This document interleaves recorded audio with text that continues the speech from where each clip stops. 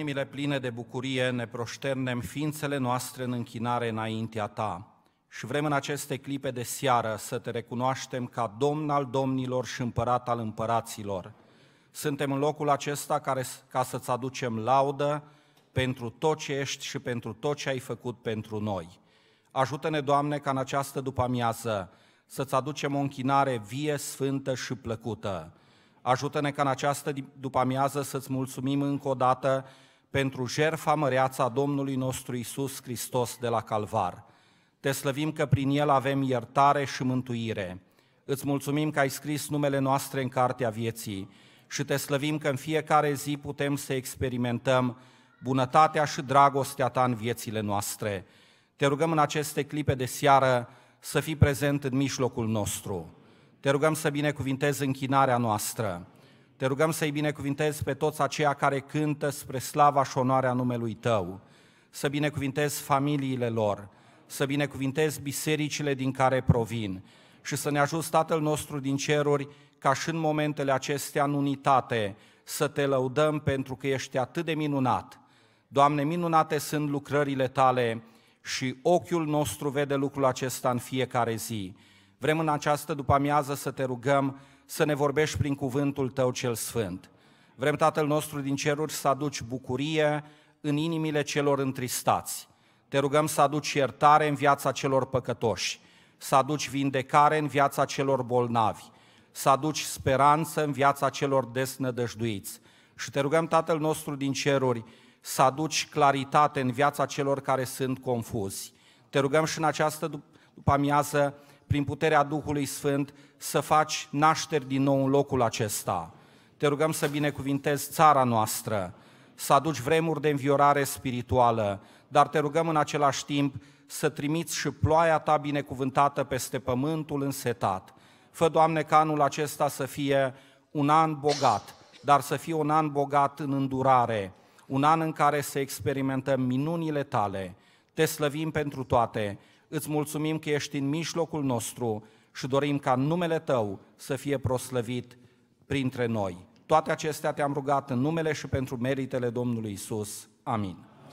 Să lăudăm pe Dumnezeu prin cântarea 99 din imnurile Harului Iisus, viața noastră, noi pe Tine te mărim, căci prin jertfirea Ta pe cruce noi voioși trăim.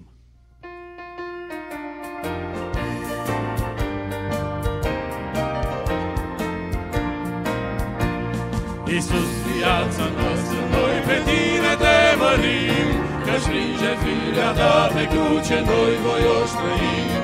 Ne-ai dat în dar iertare pentru vina ce-o purtăm, De aceea îți cântăm, Aleluia, glorie, glorie, Aleluia, glorie, glorie,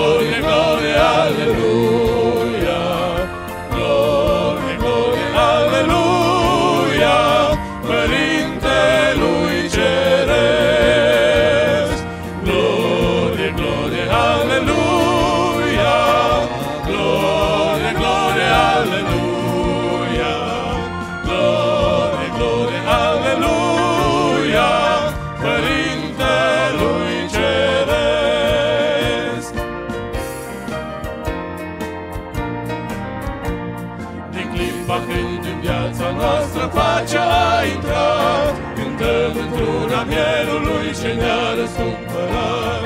A Lui să fie slavă ce în veci va triumfa, Acum și pururea, Aleluia, Glorie, glorie, Aleluia,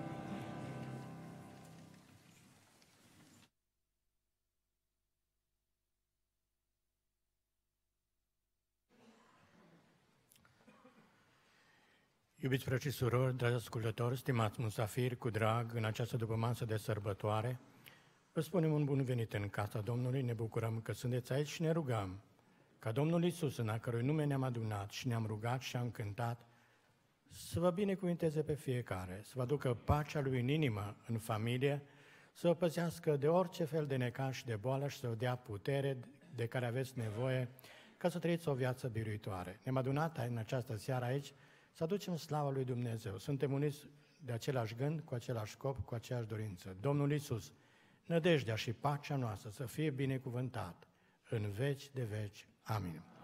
Și fie ca harul bogat al Domnului Isus să se înmulțească pentru frații coriși care au venit din diferite locuri, pentru dumneavoastră și pentru orașul Lugoj. Amin. Salutăm cu drag la această întâlnire a corurilor bărbătești din Banat, frații din Timișoara. Cât sunteți de Timișoara? Să ridicați mâna sus, din Coriști. Domnul să vă binecuvinteze. Pe dumneavoastră, bisericile orașul Timișoara. Amin. Și fie ca harul bogat să se înmulțească și pentru orașul Timișoara. Amin. Pentru frații din Reșița. Cât sunteți din Reșița? Cărășenii sus mâna. Domnul să vă binecuvinteze pe dumneavoastră, orașul Reșița, familie, bisericile și fie ca harul să se înmulțească și la Reșița tot mai mult. Amin. Avem câțiva frați de la Arad. De la Arad cine este? Domnul să vă binecuvinteze. Nu sunteți mulți acum, dar veți fi tot mai mulți. Fie ca Dumnezeu să vă înmulțească pe voi și pe copiii voștri și fie ca Dumnezeu să binecuvinteze și orașul Arad, care e renumit pentru cele mai multe biserici creștine din toată România. Nu se găsește așa ceva niciunde. Fie ca Dumnezeu să binecuvinteze poporul său răscumpărat de pretutindinea. Avem de la Deva, frați corești de la Deva, fiți binecuvântați, Domnul să se îndure de orașul Deva, să vă binecuvinteze Domnul pe fiecare, să vă dea putere și har, har în belșugat, har în cântare, har în slujire. Avem și de la Unedoara, Domnul să vă binecuvinteze, Unedoara, da, să fie slăvit Domnul pentru lucrarea care se face la Unedoara și Domnul să vă binecuvinteze pe dumneavoastră, familie dumneavoastră și lucrarea care o face. Să nu cădeți de oboseală niciodată. Faptele voastre vor avea o răsplată. Amin. Avem și de la Moldova Nouă, câțiva frați, corești, câți avem? Domnul să vă binecuvinteze, să fiți binecuvântați de Domnul și când veniți la Lugoj să vă aduceți aminte că sunteți lângă Dunăre.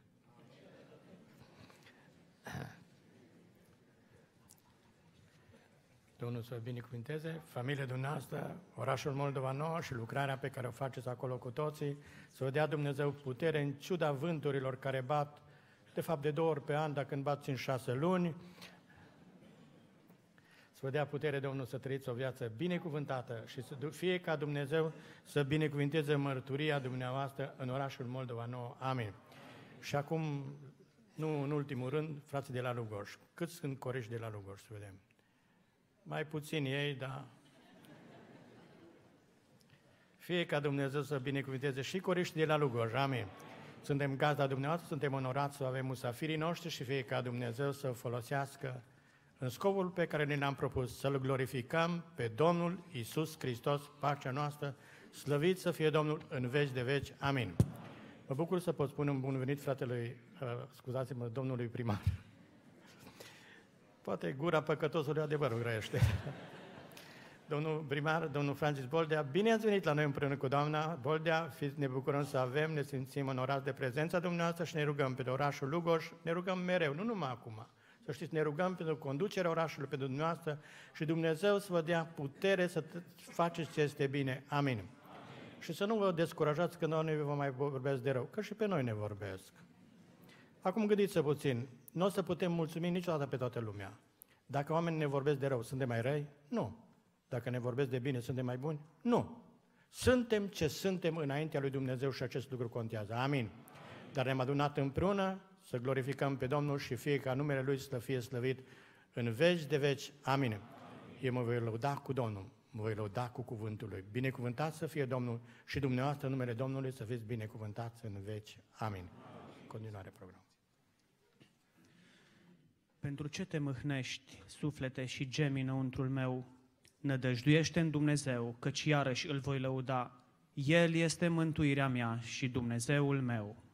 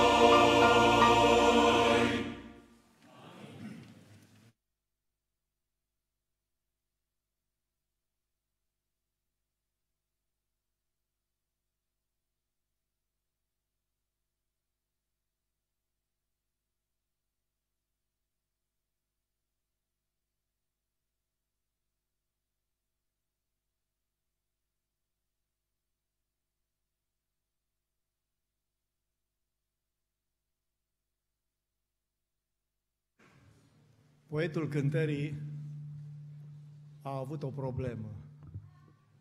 N-a avut o mie de limbi și mii de buze să-L slăvească pe Dumnezeu. Și a făcut această cântare cu părere de rău, o, de aș avea eu limbi o mie, aș face și aș drege. Și eu am avut curajul să vin cu o vioară, să încerc măcar cu două limbi. Am eu o limbă în gură și limba de la vioară. Și să încercăm măcar pe două limbi și cu buzele imaginare să-L slăvim pe Dumnezeu. Ce să facem? Să-i mulțumim de ce a făcut pentru noi, toți care eram fi pierduți.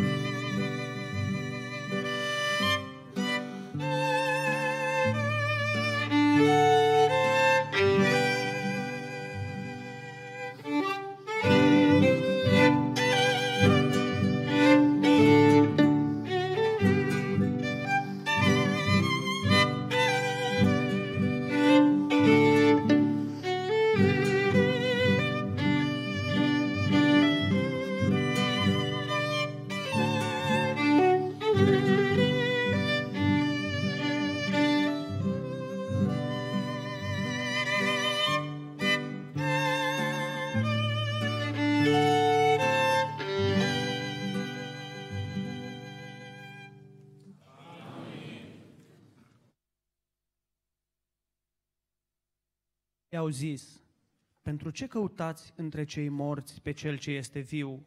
Nu este aici, ci a înviat. Aduceți-vă aminte ce v-a spus pe când era încă în Galileea, când zicea că fiul omului trebuie să fie dat în mâinile păcătoșilor, să fie răstignit și a treia zi să învie. Și ele și-au adus aminte de cuvintele lui Isus.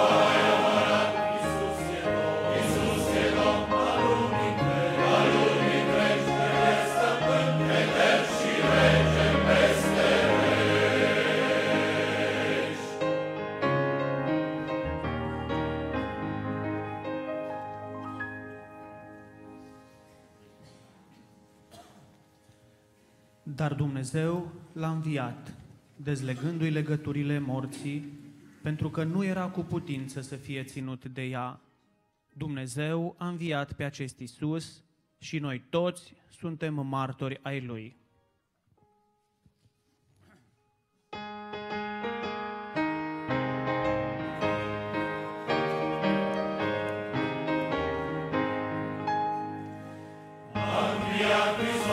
În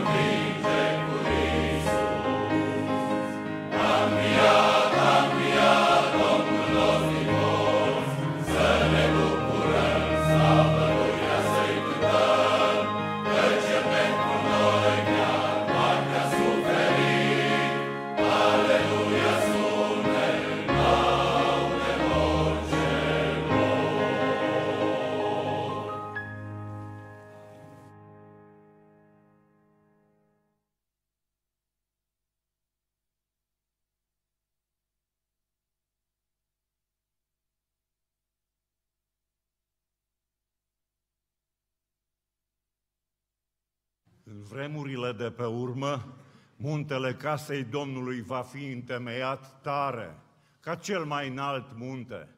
Se va înălța deasupra dealurilor și popoarele vor veni grămadă la el. Neamurile se vor duce cu grămadă la el și vor zice, veniți, haidem să ne suim la muntele Domnului, la casa Dumnezeului lui Iacov, ca să ne învețe cărările lui și să umblăm pe cărările lui. Căci din Sion va ieși legea și din Ierusalim cuvântul Domnului. El va judeca între multe popoare, va hotărâ între neamuri puternice, depărtate. Din săbile lor își vor făuri fiare de plug și din sulițele lor cosoare.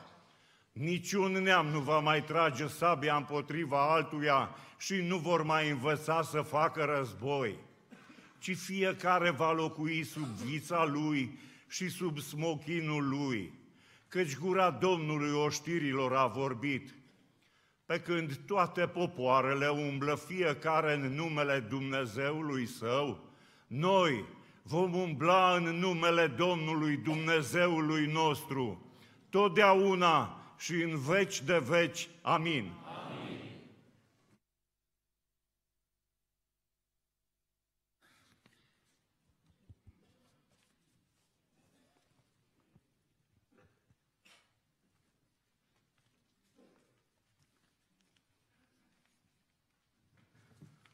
Să nu credeți că am venit să cânt numai la vioară. Am venit să militez pentru viața trăită împreună cu Duhul lui Dumnezeu pe acest pământ. Cântarea următoare poate să fie un test pentru fiecare dintre noi dacă suntem într-adevăr împreună cu Duhul lui Dumnezeu pe acest pământ.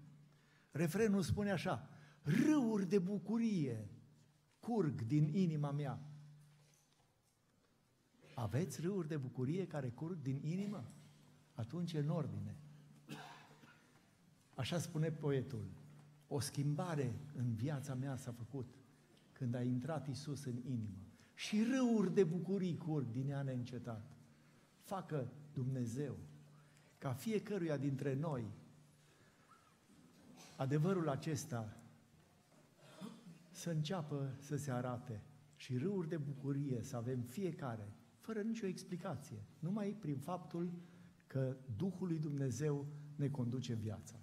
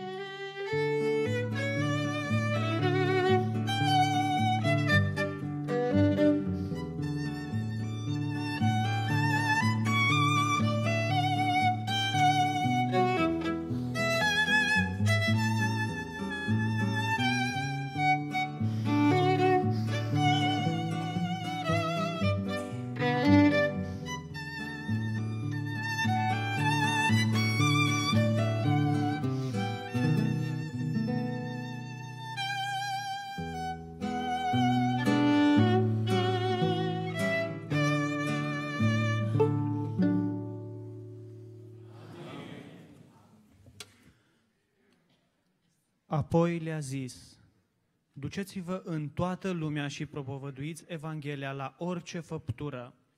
Cine va crede și se va boteza va fi mântuit, dar cine nu va crede va fi osândit.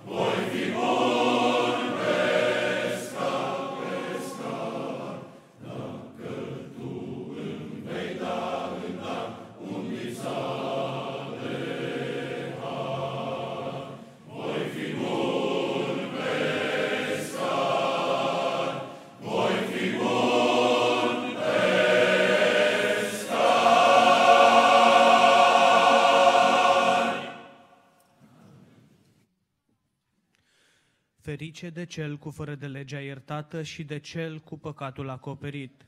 Ferice de omul căruia nu-i ține în seamă Domnul nelegiuirea și în duhul căruia nu este viclenie.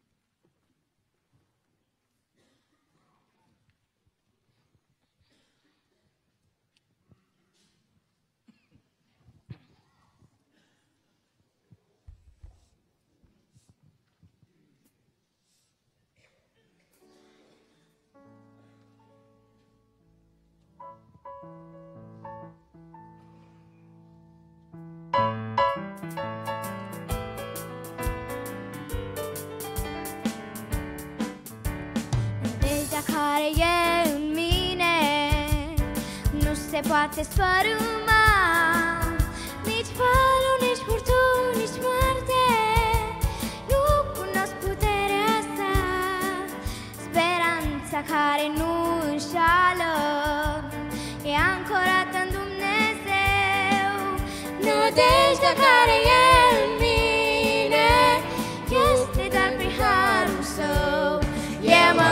încred în Domnul Slavei Ce a promis prin Sfânt Cuvânt Că niciodată nu mă lasă Pribeac și singur pe pământ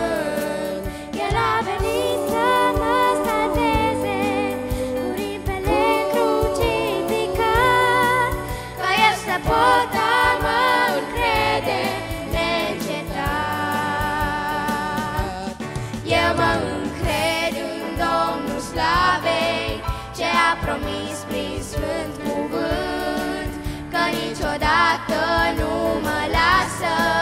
Ibeac și singur pe pământ. El a venit să mă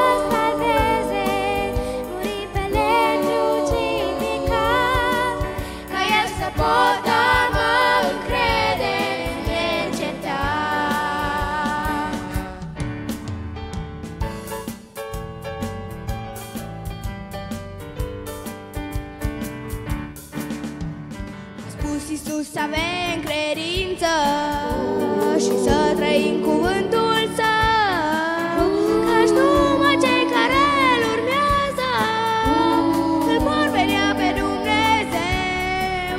Și orice munte de durere va fi mutat în viața ta. Doar crezând tu vei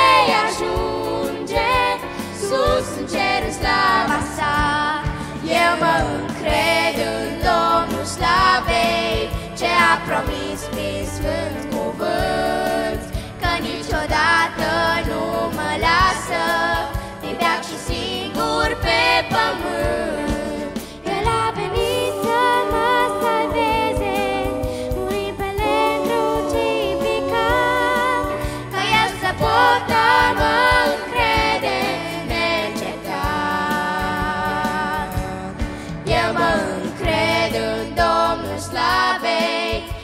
Promis prin Sfânt Cuvânt, că niciodată nu mă lasă, pribeac și singur pe pământ. El a venit să mă salveze, murit pe lemn crucificat, ca eu să pot a mă încrede neîncetat. Ca eu să pot a mă încrede neîncetat. Amin.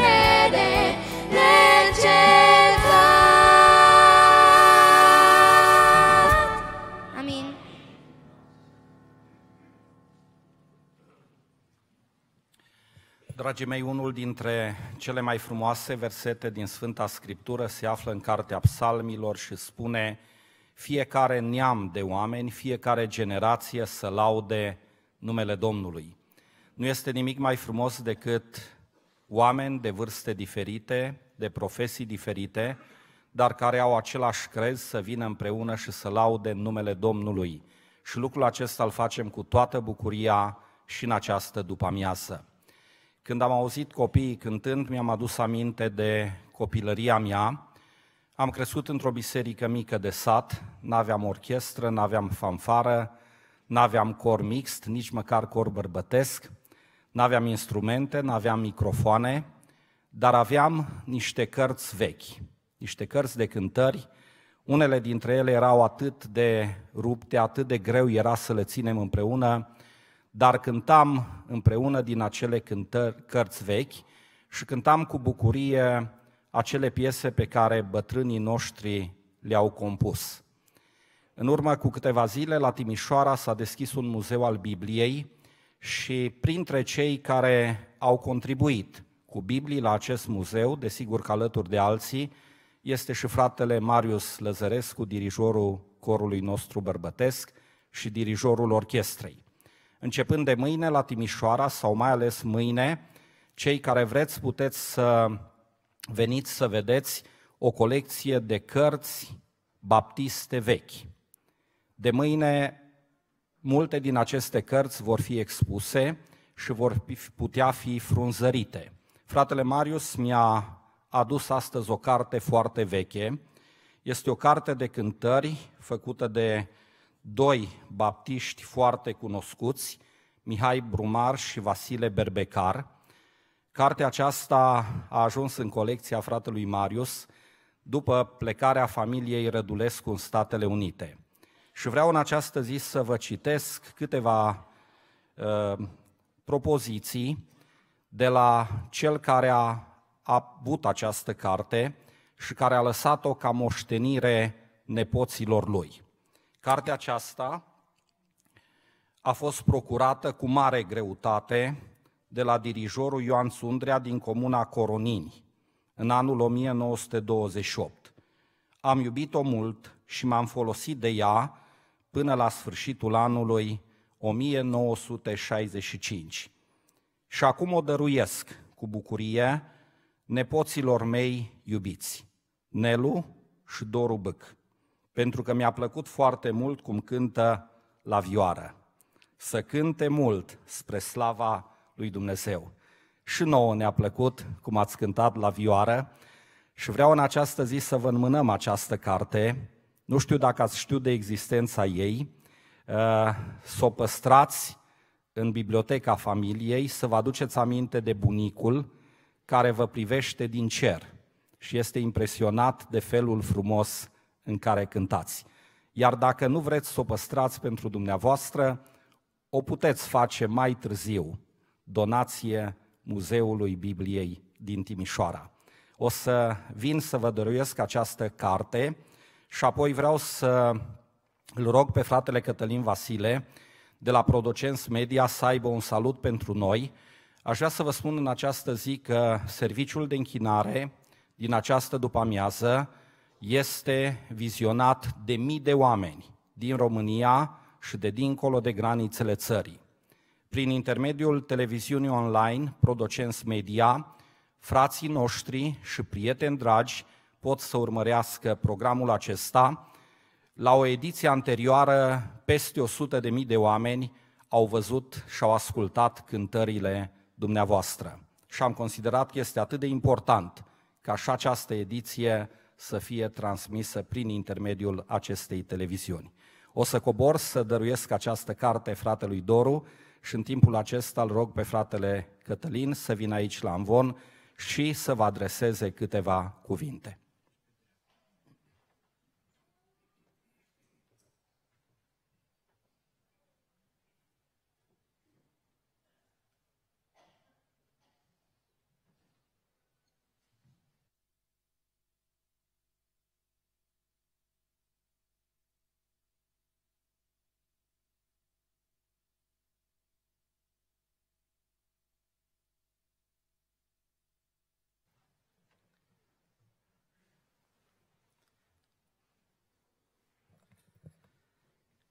Pace, fiți binecuvântați în seara aceasta. Mulțumesc în numele Produces Media acestui cor minunat, munca pe care o depuneți dumneavoastră ne încântă pe noi și mai ales pe privitorii noștri din țară și din străinătate. Mulțumim că prin intermediul echipamentelor pe care noi le-am pus astăzi la dispoziție și prin tehnologia aceasta modernă pe care o folosim pentru răspândirea Evangheliei și glasurile dumneavoastră aduc un plus misiunii noastre. Aceea de a duce Evanghelia până la marginea pământului. Fiți binecuvântați și vă mulțumesc frumos. Ne-ați încântat urechile, inimile și Domnul să vă binecuvânteze. Am vorbit dimineața despre lucrarea pe care o facem și n-aș vrea să plec din locul acesta fără să vă dau câteva gânduri despre obiecțiile, problemele, provocările, dacă am putea spune, pe care le are orice lucrare spirituală a noastră, în primul rând, și cu siguranță și altor slujitori pe care îi cunoaștem sau care au trăit de-a lungul anilor. Aș vrea să vă citesc pentru lucrul acesta un singur verset și o să vedem ce se poate scoate dintr-un singur verset. Dacă se poate, vă rog să afișați Judecători, capitolul 3, versetul 31, care spune așa. După el a urmat Shamgar, fiul lui Anat. El a ucis 600 de oameni dintre filisteni cu un otic de plug și el a fost un izbăvitor al lui Israel. Amin. Este un verset, un singur verset dintr-o carte foarte specială, o carte care mie îmi vorbește foarte mult și iubesc această carte, Cartea Judecătorilor. Pentru că ceea ce se spune în această carte seamănă foarte mult cu vremurile noastre din ziua de astăzi. Dacă veți citi ultimul verset din Cartea Judecătorilor, din capitolul 21, veți vedea că se spune foarte clar, în vremea aceea nu era împărat în Israel și fiecare făcea ce vroia. Cam acesta era contextul istoric din Israel la vremea respectivă, când se întâmplă această întâmplare cu, cu Shamgar și mai mult seamănă foarte mult cu ceea ce se întâmplă în zilele noastre, în care fiecare crede că ceea ce face el este cel mai bine, cel mai util și nu mai contează ce cred alții, important este ce cred eu și ce fac eu. Vreau să spun un momentul în care am început lucrarea Producens Media și cu siguranță și alții au trecut prin aceste provocări. Prima problemă pe care am avut-o a fost cea a identității. Vedeți dumneavoastră, și eu sunt un băiat născut și crescut la țară, undeva în județul Tulcea, în localitatea Ciucurova. Dacă sunteți apicultori, să știți că la noi vara, biserica se dublează. De ce? Pentru că vin apicultorii la pădurea de tei. Și sunt un băiat născut, crescut, venit în București de la 14 ani și din dintr-o familie absolut normală, fără personalități în, în familie și fără oameni care au făcut, s-au făcut remarcați. A spune că eu sunt primul din, tot, din toată familia care a făcut studii superioare, primul care a plecat la oraș și tot așa.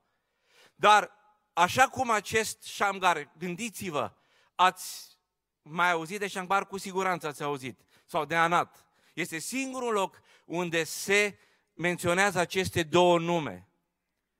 Nu e nici David, nu este nici Solomon, nu este nici Apostolul Petru, nici Apostolul Pavel, dar e atât de important această persoană, acest bărbat, astfel încât are un loc în Sfânta Scriptură. Prima problemă în a face ceva, o lucrare din partea Domnului, este când îmi spui întrebarea și vine rău și îți aduce aminte cine ești tu. Deci, ce eu? Cu ce sunt eu mai bun? Cu ce m-am remarcat? Nu sunt nici fiul lui unui mare predicator, nici unui mare cântăreț. N-am moștenit nimic din tradiția familiei. Și totuși Dumnezeu ne cheamă și pe noi la lucrare. Și primul, primul obstacol pe care are un slujitor este acela al identității. Când cel vine și te Ă, te încearcă și spune, nu ești tu cel mai bun. Sunt alții care cântă mult mai frumos, sunt alții care vorbesc mult mai bine decât tine, sunt alții care fac asta pentru că așa au învățat în familie. Și de multe ori avem această dorință de a lăsa pe alții de a face, de a, de a sta și a privi dacă se poate. Shamgar, fiul lui Anat, un nou, un no name, aș spune noi. Un nei ca nimeni, cum spunem noi la București. Un om care nu are nicio tradiție, despre care nu se mai vorbește nicăieri decât în acest loc, face cea mai mare lucrare și este pus în rândul marilor lucrători a Evangheliei. A doua provocare pe care o avem este aceea a uneltelor cu trebuie să facem misiunea. Să știți că în momentul în care te-a pus să faci ceva, când mă gândesc la dirijorii de cor, când știu de unde vom strânge atâția oameni, sau la predicatori, de unde vom găsi fondurile ca să facem evangelizare sau să construim biserici. Sau noi în mass media ne gândim de unde vom găsi mereu să fim la curent cu echipamentele, cu noutățile, pentru că știți și dumneavoastră, tehnologia evoluează mai mult decât în oricare timp din istorie. Oricum am face, nu putem ține pas cu tehnologia și mai mult tot ce înseamnă aceste deplasări, tot ce înseamnă aceste activități, necesită o grămadă de resurse. Și primul gând care îți vine este să nu faci pentru că nu ai ce trebuie, să te plângi că nu ai ce minimul necesar să spunem ca să faci lucrul acesta. Și într-adevăr, de multe ori și mulți lucrători, mulți lujitori nu se plâng fără motiv. De multe ori nu au exact ce le trebuie. Și sunt nevoiți să alerge în stânga și în dreapta, să facă lucrul acesta, să găsească resurse, să, uh, să motiveze pe alții să-l ajute. Și lucrul acesta cu siguranță l-a avut și acest judecător al lui Israel. Și am gar, vedeți dumneavoastră, v-am spus, sunt băiat născut și crescut la țară. Știu ce înseamnă un plug. Era plugar, nu era nici măcar soldat, nu avea nici măcar armură, nu avea nici măcar sabie. El lucra pe câmp și avea un plug și avea un fier, să știți că asta înseamnă acel otic de plug, un fier cu care din când în când mai scutura acel plug care se încărca cu pământ când pământul e umed. Acela era arcușului, acela era camera lui video, acela era instrumentul cu care se folosea de el. Dar în momentul în care Dumnezeu l-a chemat, a trecut peste această barieră a identității, a trecut peste această barieră a uneltelor pe care le-a dispoziție și a zis cu ce am în mână pe aia duceți pe Dumnezeu. Dacă Dumnezeu ne-a dat o voce să o folosim spre gloria Lui, dacă Dumnezeu ne-a dat o mașină să o pună la dispoziția lui Dumnezeu, dacă Dumnezeu ne-a dat o casă să o pună la dispoziția lui Dumnezeu, și ultimul și ultima provocare pe care o are acest om este chemarea, nevoia. Vedeți dumneavoastră, noi facem tot felul de cursuri, seminarii, uh, motivaționale, întâlniri în care suntem provocați să mergem în misiune. Pentru acest om, să știți, a fost simplu și foarte simplu să vadă chemarea lui Dumnezeu, să vadă nevoia. Ce mare training îți mai trebuie, ce mare chemare îți mai trebuie, să spunem, Uh, mobilizare să vezi când țara ta este cotropită de dușman, când vezi această nevoie, când dușmanul îți bate la ușă și tu stai și nu faci nimic. Trăim vremuri de restricție și așa se întâmpla și în perioada aceea. În momentul în care acest om, un plugar, un, un, uh, un om fără o identitate specială, un necunoscut, când a văzut problema, nu mai stă și se aruncă în luptă cu ceara la dispoziție și omoară 600 de filisteni. Gândiți-vă, un om nepregătit, un om fără să aibă o anumită uh, stare, se duce și aproape că se sinucide în lupta înaintea lui pentru Dumnezeu. Așa de mult și-a iubit poporul, așa de mult a, a stat înaintea lui Dumnezeu încât n-a contat că nu e cineva, că nu are uneltele de care are nevoie pentru a se duce la luptă și mai mult, nu are nevoie ca cineva să-l împingă de spate.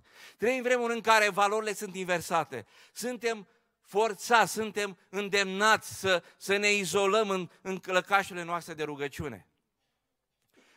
A, a, a vesti Evanghelia a vorbi despre Dumnezeu în locurile publice a devenit o nebunie, un nonsens. Dar noi tocmai pentru aceste vremuri Dumnezeu ne cheamă să ne pregătim. Și indiferent de identitatea noastră, dacă suntem cine suntem sau dacă suntem mai slabi, indiferent de ceea ce ne-a dat Dumnezeu și vă spun că Dumnezeu tuturor ne-a dat ceva. Tuturor, nu există om care să-L cunoască pe Dumnezeu, există un om care să nu primească ceva de la Dumnezeu. Acel ceva să-L pune la dispoziție. Și apoi, nu așteptați ca cineva să ne împingă de la spate. Nu așteptați ca de la învon întotdeauna să zică faceți, mergeți, cântați, plecați în evangelizare, studiați. Vorbiți despre Domnul, iubiți-L pe Domnul și chemarea aceasta trebuie să vină odată cu nașterea noastră din nou. Cu putere cred că Dumnezeu ne-a chemat pe toți la mântuire și pe toți ne-a chemat la dujire și indiferent de chemarea pe care o avem, să ne punem la dispoziție cu tot ce avem. Și vreau să vă rugați în continuare pentru noi. Prodoces Media are un următor gând și ne rugăm Domnului ca acest gând să vă însuflețească și pe dumneavoastră. Gândul este acesta, de fapt este și rugăciunea noastră, care spune așa, Doamne, ajută-ne să ne punem la dispoziția Ta cu tot ce suntem și cu tot ce avem. Amin. Fiți binecuvântat!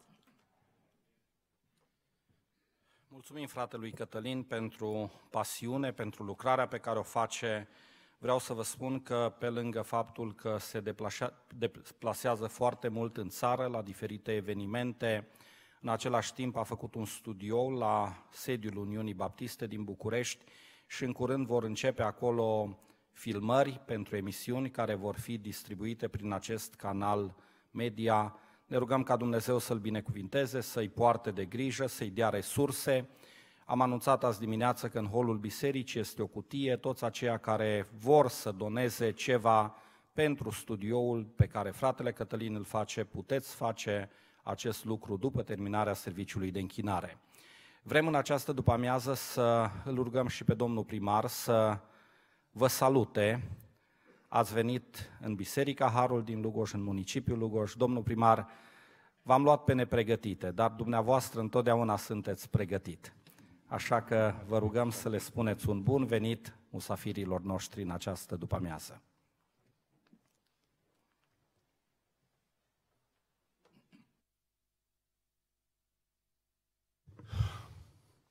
Am fost niciodată așa emoționat și normal să fie așa.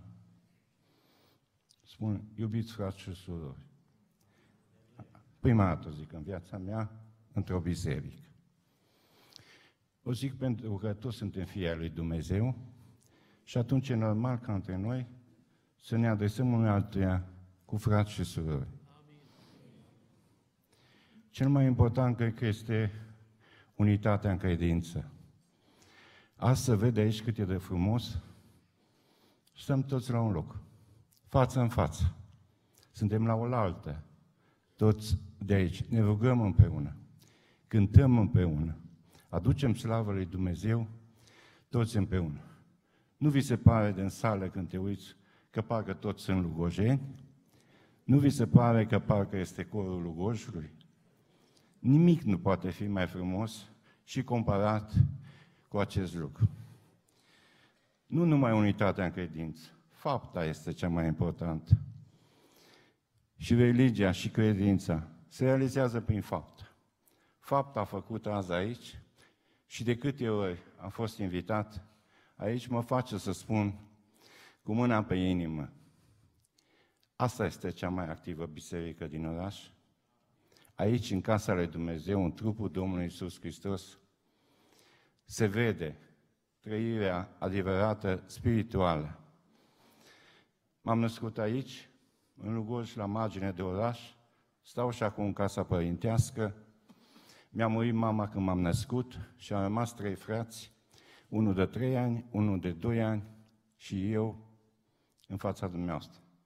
Cel mare este primul academician în mașini electrice speciale din România, și a primit premiul Nikola Tesla pe mergătorul Nobel, cel mijlociu în America cu copiii lui, iar cel mic e în fața dumneavoastră.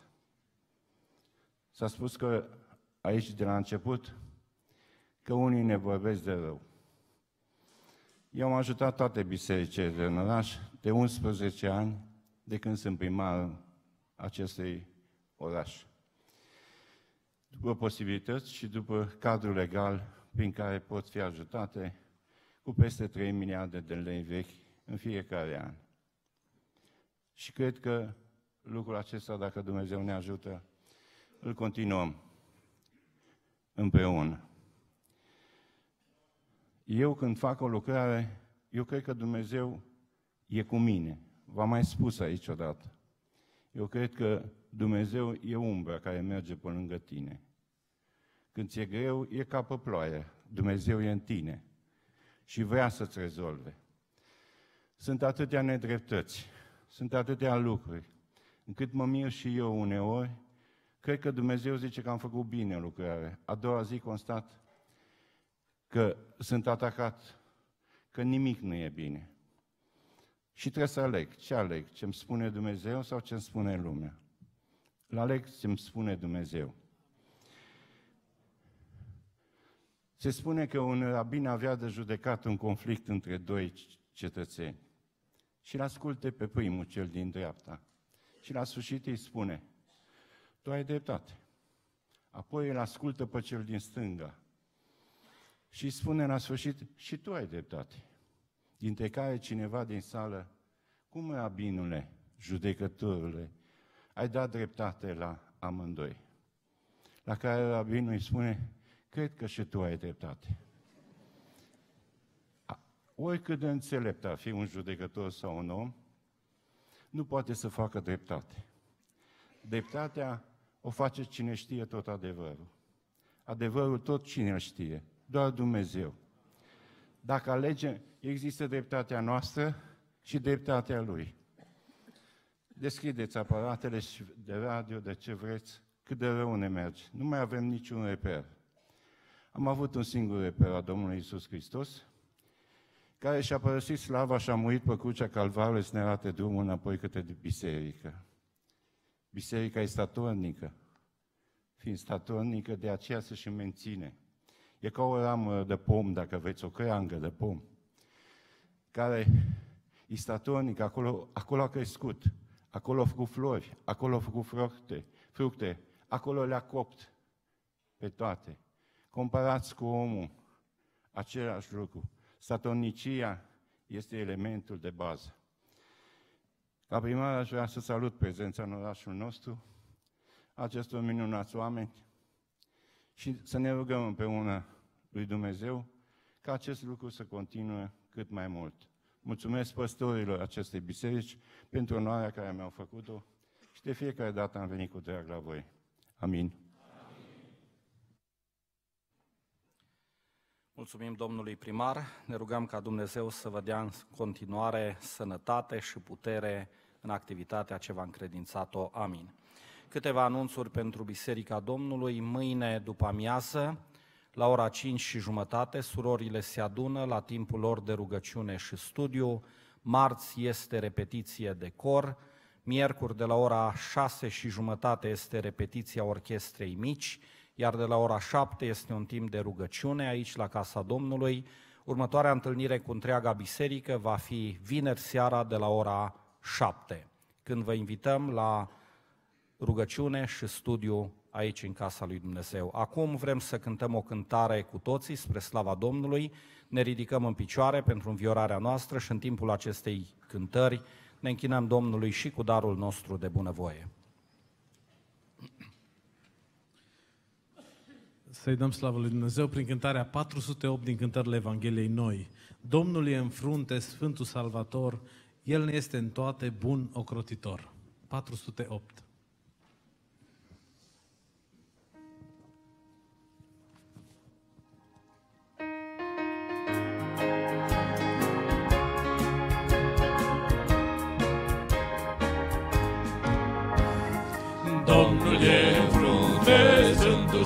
Salvator, El ne este toate un ocrotitor. Noi cunoaștem planul Său mântuitor, cu credință vom urma. Înainte ne-a chemat Iisus, înainte cu avânt de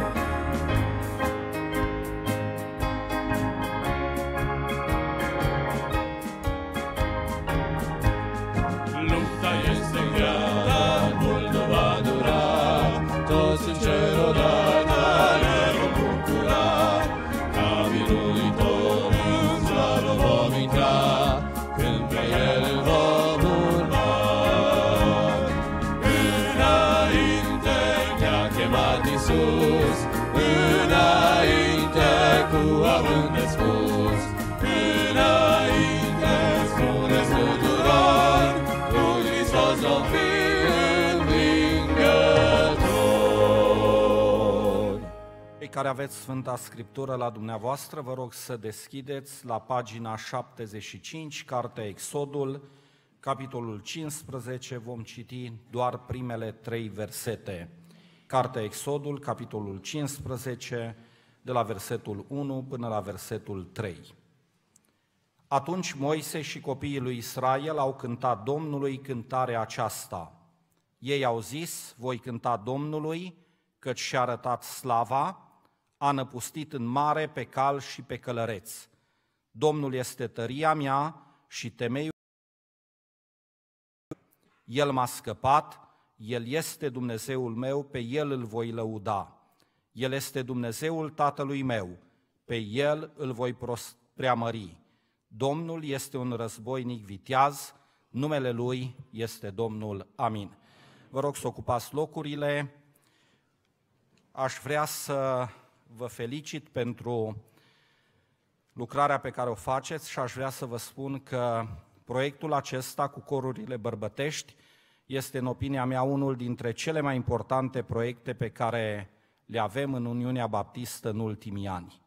Mă rog ca Dumnezeu să vă binecuvinteze pe dumneavoastră, familiile dumneavoastră și bisericile pe care le reprezentați și aș vrea în această zi doar în câteva minute să vă spun câteva lucruri importante din Cuvântul lui Dumnezeu despre muzică, lucruri pe care dumneavoastră le știți cel puțin la fel de bine ca și mine sau poate mai bine decât mine. În urmă cu vreo 2400 de ani a trăit un filozof și poet grec numit Platon. Omul acesta s-a născut într-o familie aristocrată, a cântat la curțile unor oameni bogați și a făcut la un moment dat următoarea afirmație. Lăsați-mă să fac cântările unei națiuni și nu îmi pasă cine va face legile.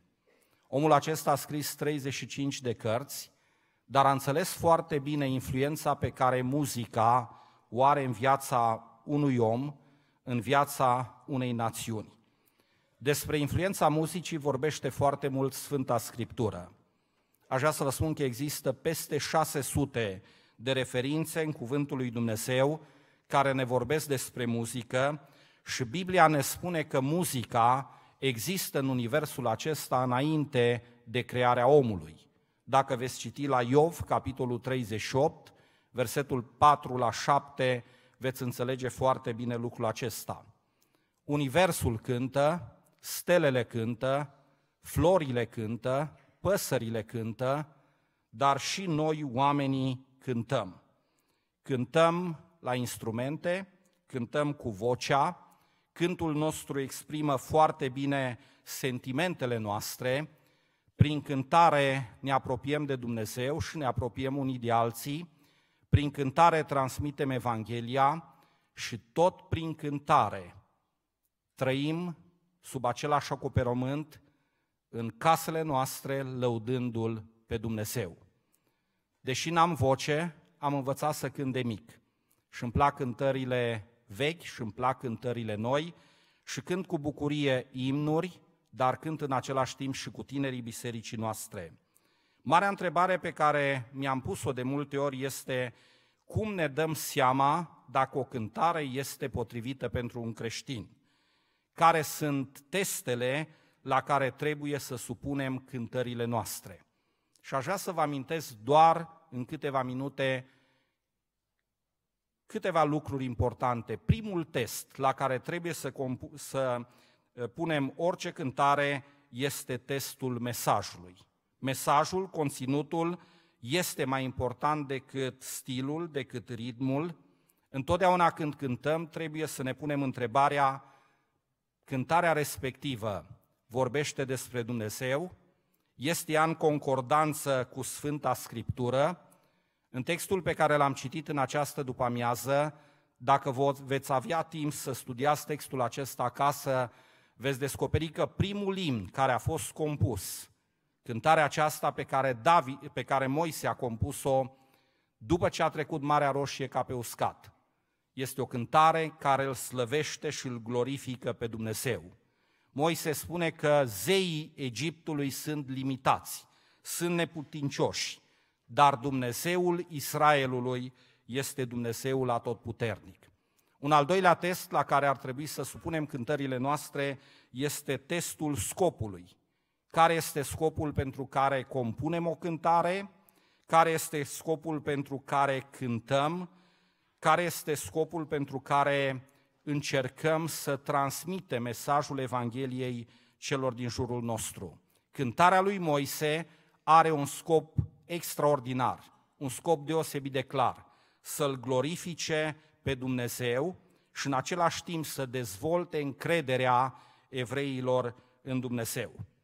A trăit odată un mare compozitor și cu toții ați auzit despre Mozart, 1756-1791.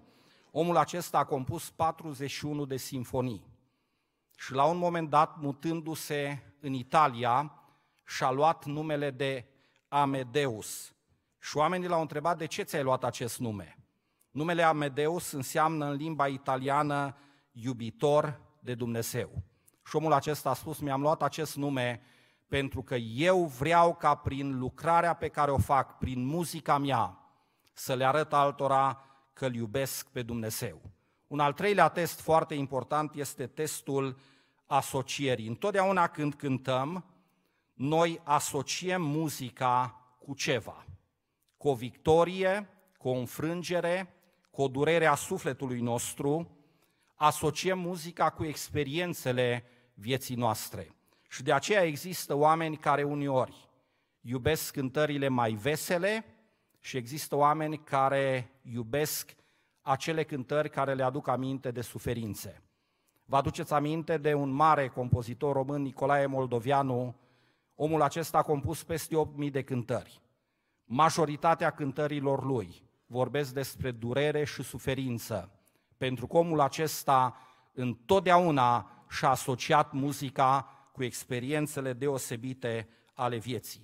Un alt test foarte important la care, ne, la care supunem cântările noastre este testul amintirilor. Ne aducem aminte de experiențe din trecut. Ne aducem aminte de cântări din trecut. Ne aducem aminte de vechiul nostru mod de trai sau de bogăția de mesaje pe care le-am primit de la părinții noștri. Când eram mic, iubeam în satul meu natal două cântări. Una din ele era Am o carte ce o iubesc, deși vechi o prețuiesc. Cealaltă era cântarea Frumos e câmpul verde de ierburi și de flori. Și într-un an, împreună cu un verișor de-al meu, eram neatenți la studiu biblic. Și diaconul bisericii a zis, ia cântați voi doi o cântare. Și am cântat această cântare frumoasă, Frumos e câmpul verde de ierburi și de flori numai că afară era zăpada de 30 de centimetri. În fiecare an, lugojenii știu că îmi place primăvara să cântăm cântarea Frumos e câmpul verde. Mă rog ca Dumnezeu să vă binecuvinteze, să binecuvinteze slujirea voastră și eu vreau să vă spun că după o săptămână foarte aglomerată pe care am avut-o, cântările pe care le-ați cântat au umplut inima mea de bucurie. Domnul să binecuvinteze viața dumneavoastră și lucrarea pe care o faceți. Amin.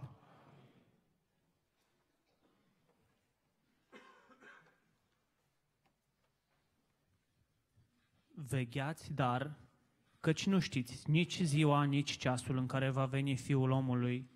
Sfârșitul tuturor lucrurilor este aproape. Fiți înțelepți, dar, și vegheați în vederea rugăciunii.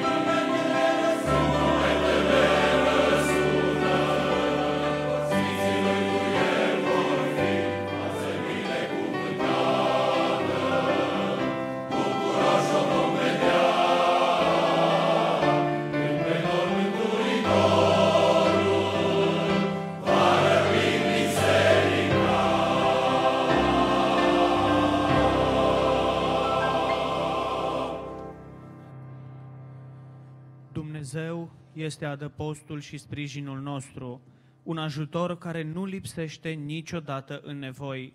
De aceea nu ne temem, chiar dacă s-ar zgudui pământul și s-ar clătina munții în inima mărilor, chiar dacă ar urla și ar spumega valurile mării și s-ar ridica până acolo să se cutremure munții.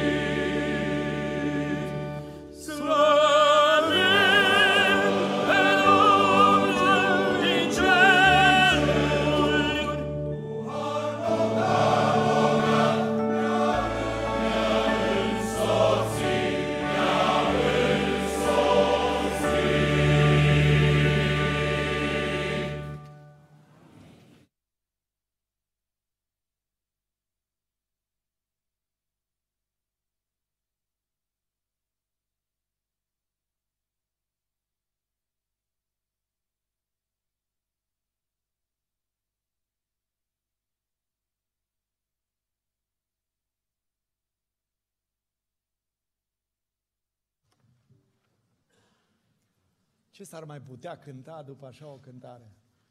Vă dați seama că e foarte periculos să cânți după așa un cor. Cine te-a programat, zici că ți-a vrut binele.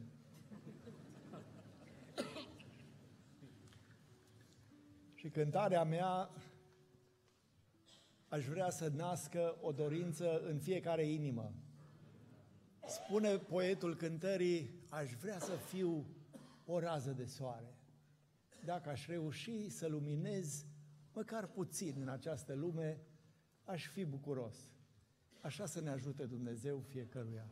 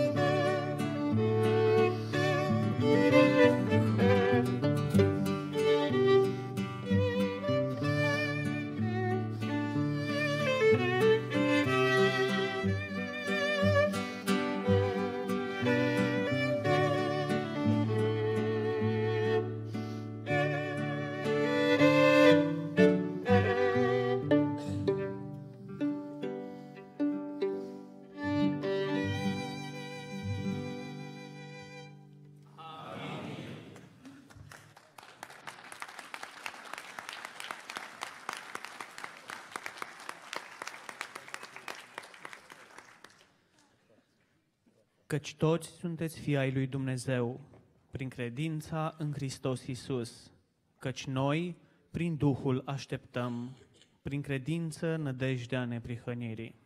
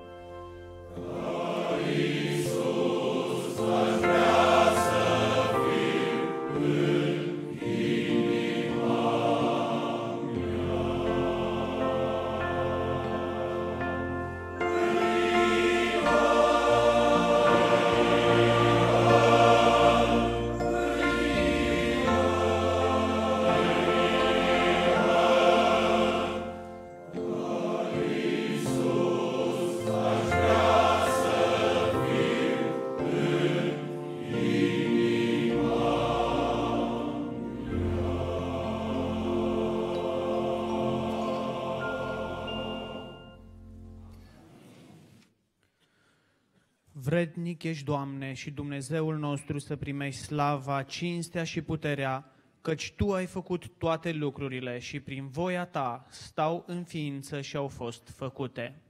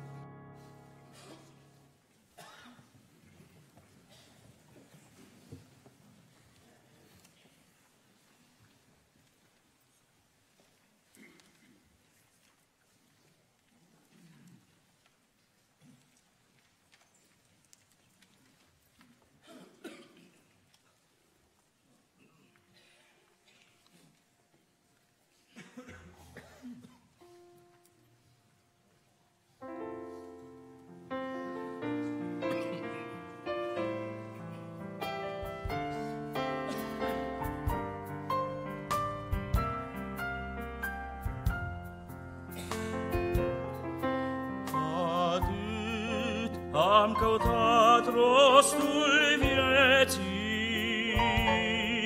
că am ajuns rob acestei căutări. Dar Iisus mi-a deschis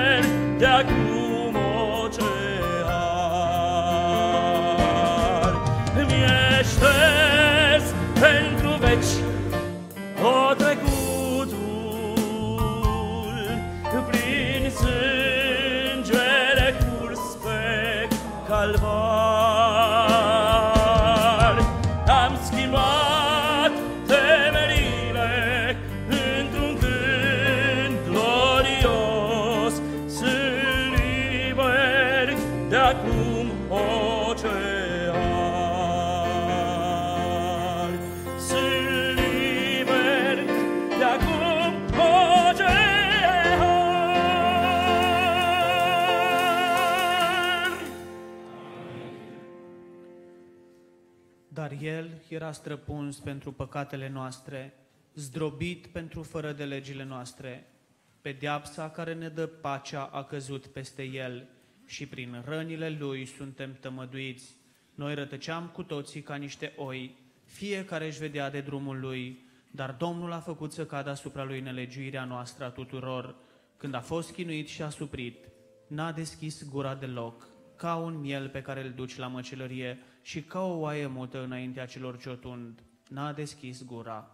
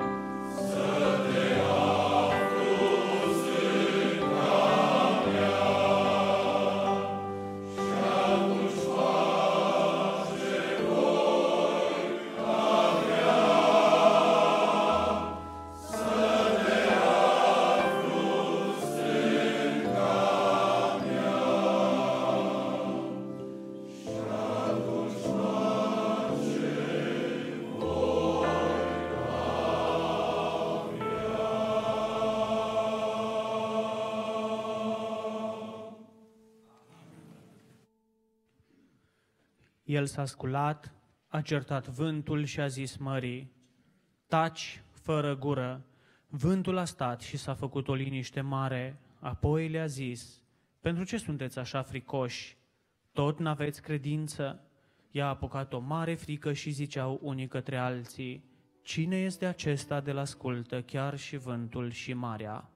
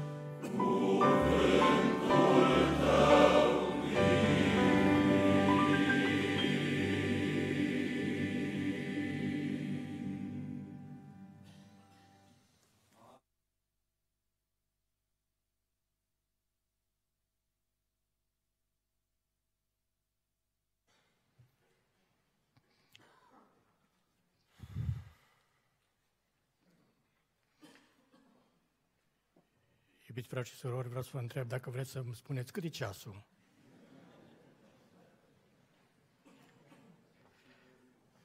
Cred că a meu e greșit sau dumneavoastră ați dat ceasul cu o oră mai înainte? Prea repede l-ați dat. Trebuia să mă așteptați puțin. Stând aici și ascultând mi-am pus întrebarea mie personal, dacă aș fi eu în bancă, ascultător, nu predicator, ce aș mai vrea să aud în această seară? Știți ce răspuns am primit? Nimic. N-aș mai vrea să aud nimic decât un amin clar și convingător. Adevărat, nu?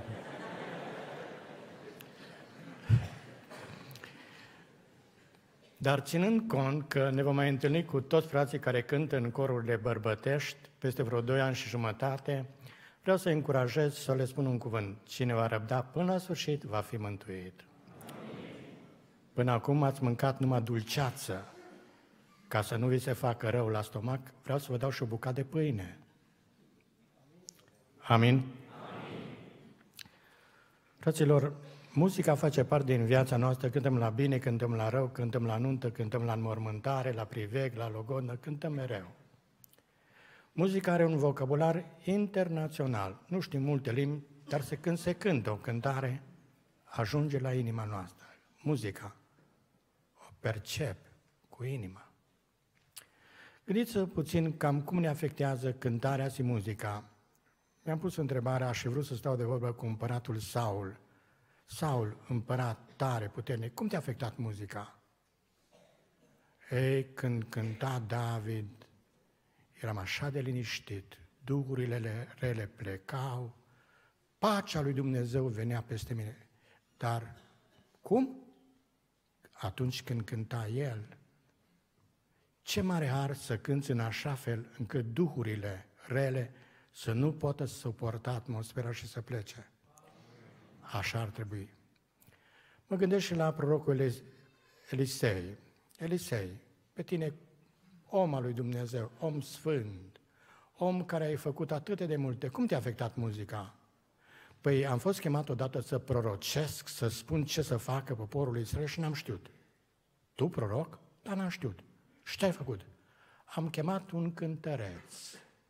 Și pe când cânta cântărețul, Duhul lui Dumnezeu a venit peste mine. Când? Atunci când cânta cântărețul, Duhul lui Dumnezeu a venit peste mine și am putut să spun poporul meu ce trebuie să fac. Știți că întotdeauna cântarea inspiră, cântarea îți deschide inima, cântarea te apropie mai mult de Dumnezeu. Cântarea? Împărate Iosafat, pe tine cum te-a afectat cântarea? Păi trebuia să merg la război și n-am știut ce să fac. O mulțime mare înainta, frica m-a cuprins în momentul acela și n-am știut ce să fac și am zis, Doamne, tu care poți totul, ce să fac? Nu veți avea de luptat. Și Iosafat merge la război cu cântăreții templului. În momentul în care a început cântarea de laudă, în momentul în care au început cântările, Dumnezeu a bătut pe vrăjmaș. Cum? În momentul în care a început cântarea de laudă. Pavel și Sila, ești la închisoare. Pe tine cum te-a afectat cântarea? Păi, când am început să cânt, cu tremur s-a făcut, zidurile s-au clătinat, legăturile s-au desfăcut și și nimeni n-a fugit. Și oamenii au rămas străpunși în inimă. Dar cum de s-a întâmplat așa? Nu știm, Dumnezeu a intervenit. Atunci când se cântă, trei lucruri sunt esențiale. În primul rând, cine cântă? Nu ce, ci cine. Când se predică, știți care e cel mai important? Cine predică? Când oamenii vin la biserică, știți ce Nu întreabă ce se predică, ce subiect, întreabă cine predică? A, e clar. Cine cântă? Dumnezeu s-a uitat la Cain și la jertfa lui, Dumnezeu s-a uitat la Abel și la jertfa lui. Important. Păi omul e mai important decât cântarea. Nu poți despărți om de mesajul de cântarea pe care o cântă. De aceea, cel mai important lucru e omul, omul care cântă. Cum e omul? Uneori pe unii zici, omul acesta mi-ar place să-l ascult tot timpul, dar pe ăsta, pe ăsta n-aș mai vrea să-l ascult niciodată. Dar de ce? Nu-i bună cântarea. Cântarea e bună, dar omul nu e bun. Ce cântăm? Despre cine cântăm? Mi-a plăcut în mod deosebit în această seară când am anunțat, cântă corul de la Reșța, de la Ra, de la Timișoara, cântă un cor spre slava lui Dumnezeu. N-am anunțat nici cine e dirijor, nici cine e compozitor, nici cine e Așa trebuie să fie. Întotdeauna să fie lăudat Dumnezeu. Amin? Amin. Dar cum? Cum cântăm? Cum predicăm? Hmm. Ai dreptul să te gândești la aceste lucruri până nu vii la învon. Ai dreptul să te gândești la aceste lucruri până nu începi să cânți. Când ai început să cânți, nu te mai gândești ce cânți. Nu te mai gândești ce predici, ci cum. Cum cânți? Pe cine onorezi? Pe cine slăvești? Cum cânți? Dacă nu poți mai mult, e în ordine. Dar dacă poți și nu dai, de ce nu? Cine merită mai mult? Cine? Doamne, cuvinte pline de farmec îmi clocotesc în inima și zic, cântarea mea de laudă este pentru împăratul. Binecuvântat să fie Dumnezeu și pentru că mai urmează o cântare, trebuie să mă opresc, pentru că orice predică trebuie terminată înainte ca oamenii să dorească acest lucru. Amin? Ați dorit să se termine, nu? Am terminat. Căci Domnul este un Dumnezeu mare, este un împărat mare mai presus de toți Dumnezeii. Lăudați pe Domnul toate neamurile, lăudați-l toate popoarele, căci mare este bunătatea Lui față de noi și credincioșia Lui ține din veci în veci. Lăudați pe Domnul!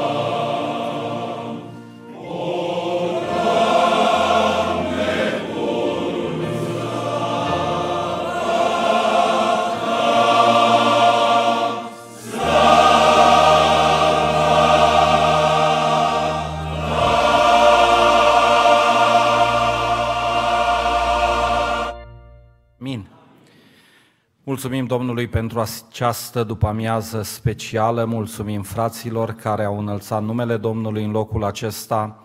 Sunt convins că v-ați simțit minunat în locul acesta și Domnul s-a simțit bine în mijlocul laudelor noastre. Ne rugăm ca Dumnezeu să ne dea puterea să lăudăm în fiecare zi, prin viața noastră.